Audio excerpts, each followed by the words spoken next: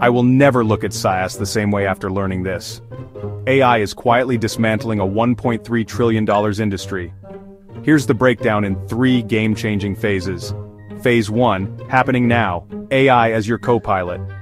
Think Copilot for coding, Gamma for presentations, Harvey for legal research. SaaS companies believe AI is their secret weapon, but they're in for a shock. Phase 2, within 12 to 18 months, the agent invasion. AI stops assisting and starts doing. Imagine saying, analyze Q2 performance instead of using Tableau, or optimize our campaign without touching meta ads.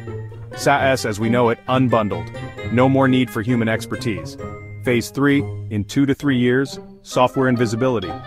Why click through dashboards when AI can access APIs directly? SaaS interfaces were built for humans but AI doesn't need them. Custom AI solutions will be built in days, not months.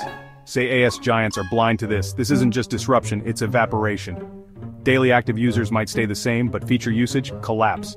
Customer calls shift from how do I use this to can my AI replace this? Or even worse, we built our own version. But hey, it's not all doom and gloom, this is a golden era for startups. SaaS is being dismantled, workflow by workflow, interface by interface. Do you think AI will destroy SaaS? Drop a comment. Thanks for watching and staying ahead of the curve.